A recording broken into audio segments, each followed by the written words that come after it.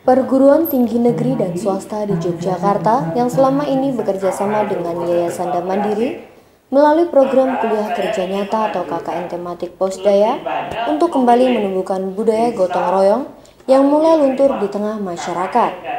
Demikian disampaikan oleh Ketua Yayasan Dan Mandiri Profesor Dr. Haryono Suyono usai penandatanganan kerjasama pengembangan Posdaya dengan enam perguruan tinggi swasta di Gedung UC Universitas Gajah Mada atau UGM Yogyakarta, Jumat pagi 29 Agustus 2014. Profesor Haryono Siono di hadapan para rektor perguruan tinggi yang menjadi mitra Yayasan dan Mandiri menyatakan, semangat gotong royong akhir-akhir ini mulai luntur.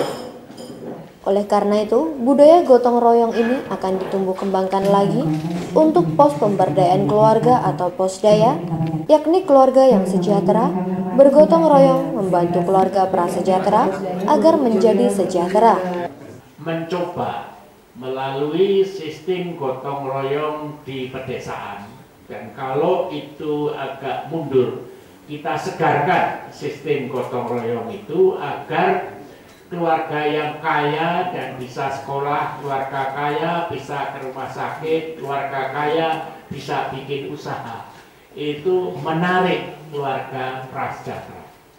Dalam istilah Bupati Kulon Progo itu istilahnya adalah keluarga binangun, keluarga uh, sejahtera, eh, KAKB, keluarga bahagia.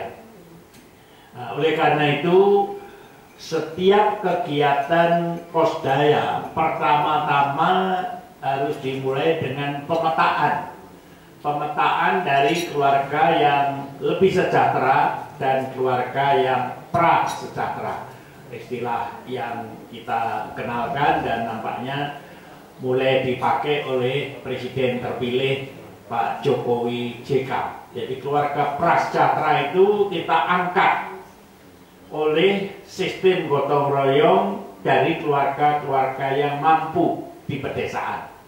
Tim TV Posdaya melaporkan. ele